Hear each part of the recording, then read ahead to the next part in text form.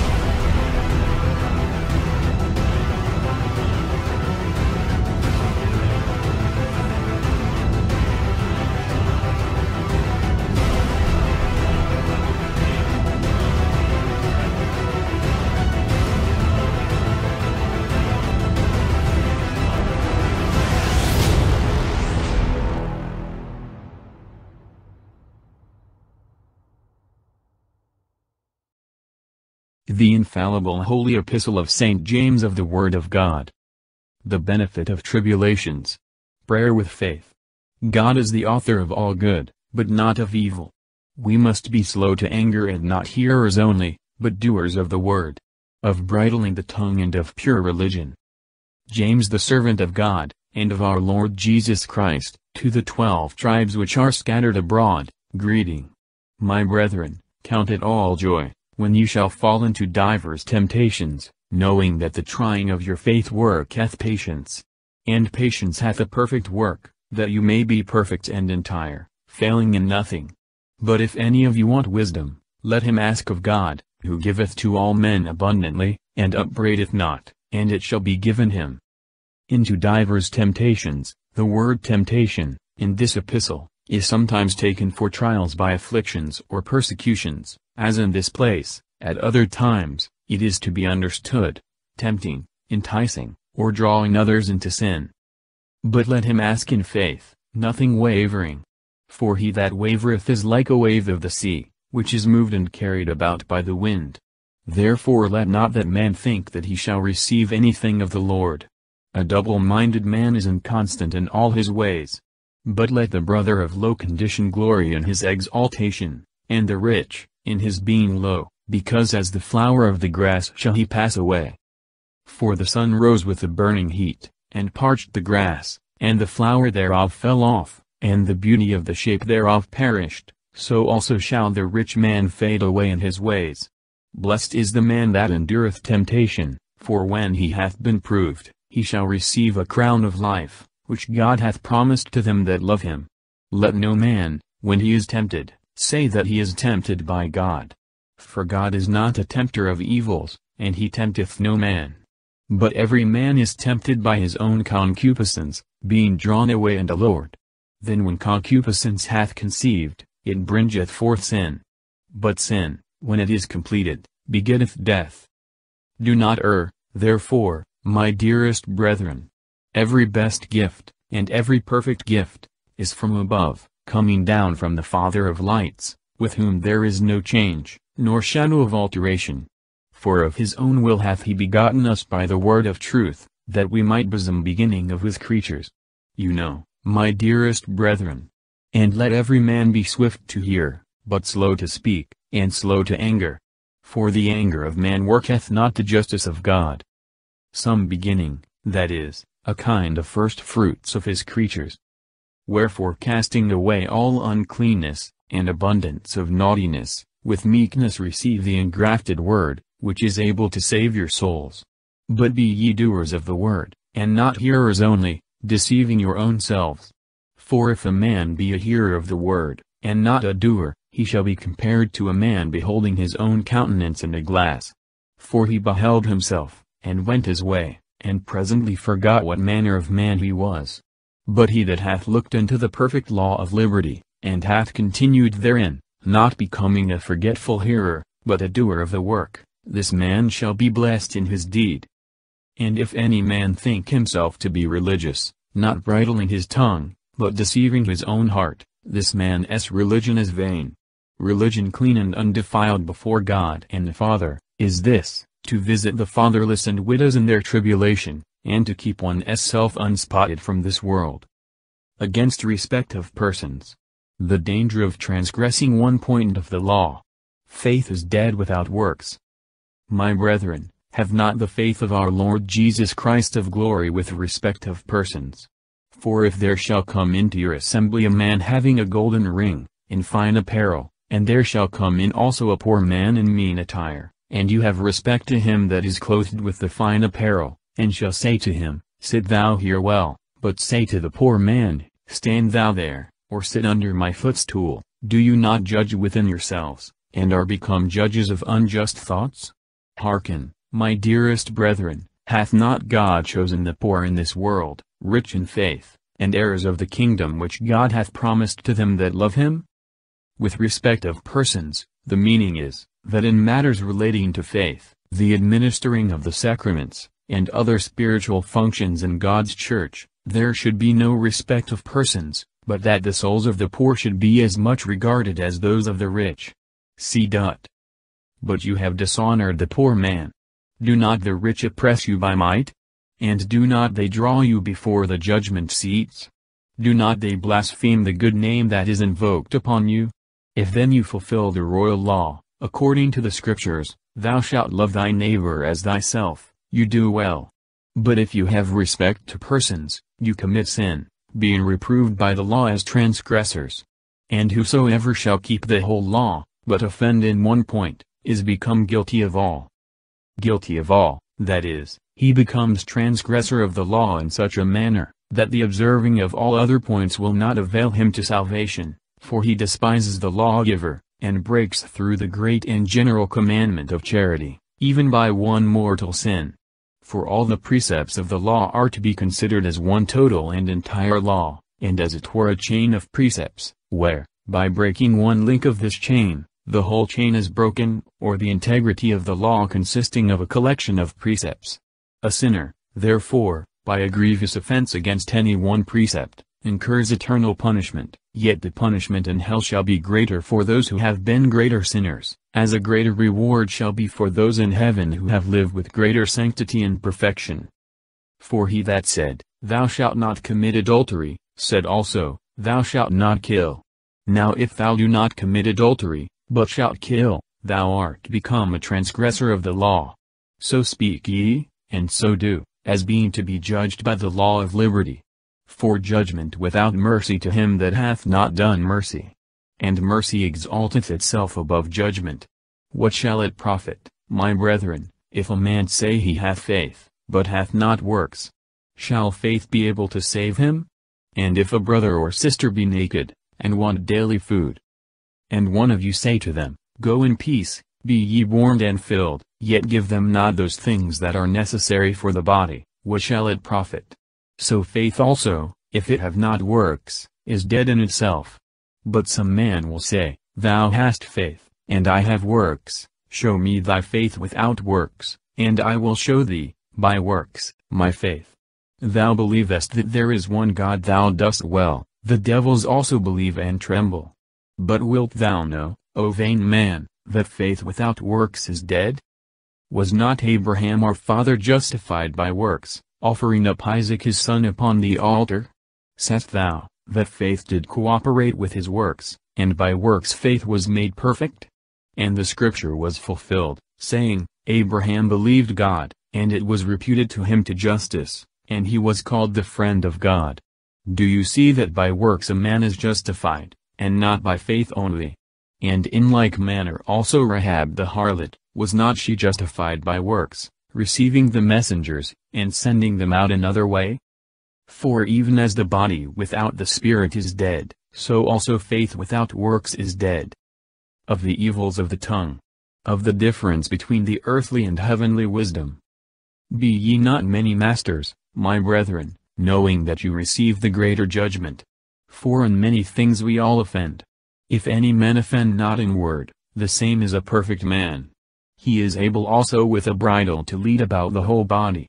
For if we put bits into the mouths of horses, that they may obey us, and we turn about their whole body. Behold also ships, whereas they are great, and are driven by strong winds, yet are they turned about with a small helm, whithersoever the force of the governor willeth. Even so the tongue is indeed a little member, and boasteth great things.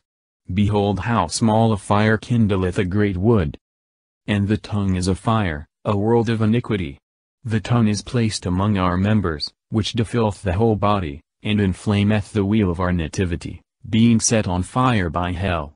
For every nature of beasts, and of birds, and of serpents, and of the rest, is tamed, and hath been tamed, by the nature of man, but the tongue no man can tame, an unquiet evil, full of deadly poison. By it we bless God and the Father, and by it we curse men, who are made after the likeness of God. Out of the same mouth proceedeth blessing and cursing. My brethren, these things ought not so to be. Doth a fountain send forth, out of the same hole, sweet and bitter water?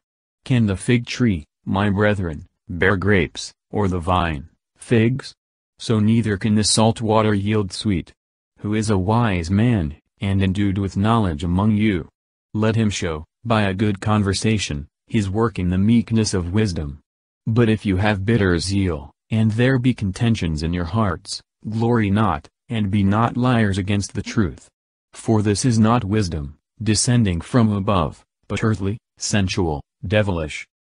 For where envying and contention is, there is inconstancy, and every evil work. But the wisdom, that is from above, first indeed is chaste, then peaceable, modest, easy to be persuaded, consenting to the good, full of mercy and good fruits, without judging, without dissimulation. And the fruit of justice is sown in peace, to them that make peace. The evils that flow from yielding to concupiscence and being friends to this world. Admonitions against pride, detraction and the like. From whence are wars and contentions among you? Are they not hence, from your concupiscences, which war in your members? You covet, and have not, you kill, and envy, and cannot obtain. You contend and war, and you have not, because you ask not. You ask, and receive not, because you ask amiss, that you may consume it on your concupiscences. Adulterers, know you not that the friendship of this world is the enemy of God? Whosoever therefore will be a friend of this world, becometh an enemy of God. Or do you think that the Scripture saith in vain, To envy doth the Spirit covet which dwelleth in you? But he giveth greater grace. Wherefore he saith, God resisteth the proud, and giveth grace to the humble. Be subject therefore to God, but resist the devil, and he will fly from you. Draw nigh to God, and he will draw nigh to you. Cleanse your hands, ye sinners, and purify your hearts, ye double-minded. Be afflicted, and mourn, and weep, let your laughter be turned into mourning, and your joy into sorrow. Be humbled in the sight of the Lord, and he will exalt you. Detract not one another, my brethren. He that detracteth his brother, or he that judgeth his brother, detracteth the law, and judgeth the law. But if thou judge the law, thou art not a doer of the law, but a judge. There is one lawgiver, and judge, that is able to destroy and to deliver. But who art thou that judgest thy neighbor? Behold, now you that say, Today or tomorrow we will go into such a city, and there we will spend a year, and will traffic, and make our gain. Whereas you know not what shall be on the morrow. For what is your life? It is a vapor which appeareth for a little while, and afterwards shall vanish away. For that you should say, If the Lord will, and if we shall live, we will do this or that. But now you rejoice in your arrogancies. All such rejoicing is wicked. To him therefore who knoweth to do good, and doth it not, to him it is sin. A woe to the rich that oppress the poor. Exhortations to patience and to avoid swearing. Of the anointing the sick, confession of sins and fervor in prayer. Go to now, ye rich men, weep and howl in your miseries, which shall come upon you. Your riches are corrupted, and your garments are mud-eaten. Your gold and silver is cankered, and the rust of them shall be for a testimony against you, and shall eat your flesh like fire. You have stored up to yourselves wrath against the last days. Behold the hire of the laborers, who have reaped down your fields, which by fraud has been kept back by you, crieth, and the cry of them hath entered into the ears of the Lord of Sabaoth. You have feasted upon earth, and in riotousness you have nourished your hearts, in the day of slaughter. You have condemned and put to death the just one, and he resisted you not. Be patient therefore, brethren, until the coming of the Lord. Behold, the husbandman waiteth for the precious fruit of the earth, patiently bearing till he receive the early and latter rain. Be you therefore also patient, and strengthen your hearts, for the coming of the Lord is at hand. Grudge not, brethren, one against another, that you may not be judged. Behold the judge standeth before the door. Take, my brethren, for an example of suffering evil, of labor and patience, the prophets, who spoke in the name of the Lord. Behold, we account them blessed who have endured. You have heard of the patience of Job, and you have seen the end of the Lord, that the Lord is merciful and compassionate. But above all things, my brethren, swear not, neither by heaven, nor by the earth, nor by any other oath, but let your speech be, Yea, yea, no, number that you fall not under judgment. Is any of you sad? Let him pray. Is he cheerful in mind? Let him sing. Is any man sick among you? Let him bring in the priests of the church, and let them pray over him, anointing him with oil in the name of the Lord. And the prayer of faith shall save the sick man, and the Lord shall raise him up, and if he be in sins, they shall be forgiven him. Let him bring in, see here a plain warrant of Scripture for the sacrament of extreme unction, that any controversy against its institution would be against the express words of the sacred text in the plainest terms. Confess therefore your sins one to another, and pray one for another, that you may be saved. For the continual prayer of a just man availeth much. Elias was a man passible like unto us, and with prayer he prayed that it might not rain upon the earth, and it rained not for three years and six months. And he prayed again, and the heaven gave rain, and the earth brought forth her fruit. My brethren, if any of you are from the truth, and one convert him, he must know that he who causeth a sinner to be converted from the error of his way, shall save his soul from death, and shall cover a multitude of sins. Confess therefore your sins one to another, that is, to the priests of the church, whom, ver, he had ordered to be called for, and brought into the sick, moreover, to confess to persons who had no power to forgive sins, would be useless. Hence the precept here means, that we must confess to men whom God hath appointed, and who, by their ordination and jurisdiction, have received the power of remitting sins in his name.